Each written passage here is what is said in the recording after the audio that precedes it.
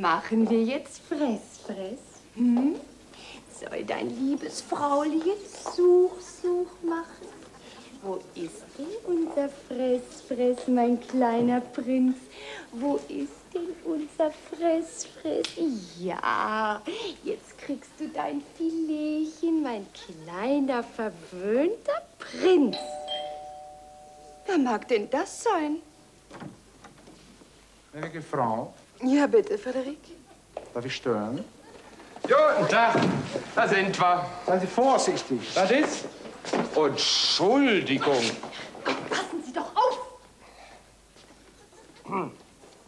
Henne. Das ist ja wohl eine Unverschämtheit. Hubert Henne. Wir haben heute 19.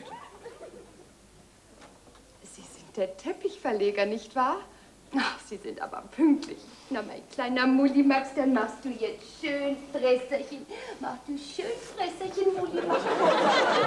Hubert Henne legt seine Eier immer pünktlich und präzise. Kleiner Scherz von mir. Wo wollen wir uns denn hinlegen, der Frau? Also, ich muss doch bitten. Ich meine doch teppichtechnisch gesehen. Das ganze Schlafzimmer extra für Sie ausräumen lassen. Wenn Sie... Au! Ja, passen Sie doch auf, Mann. Entschuldigung, der Frau. Kommen Sie bitte. Hier.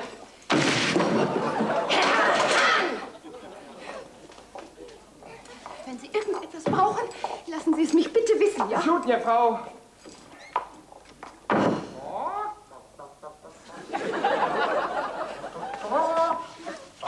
Alles schön glatt. Das gefällt mir gut. Möchte mal Zigaretten? Nee. Ach du Scheiße.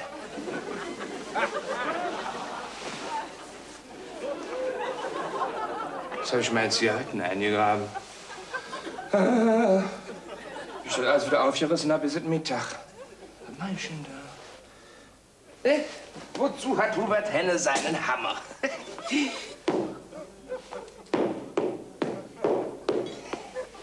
Glatt, nett, kein Mensch. Herr Hahn, Sie haben Ihre Zigaretten im Salon verloren. Sagen Sie, haben Sie vielleicht mal einen kleinen Hund gesehen?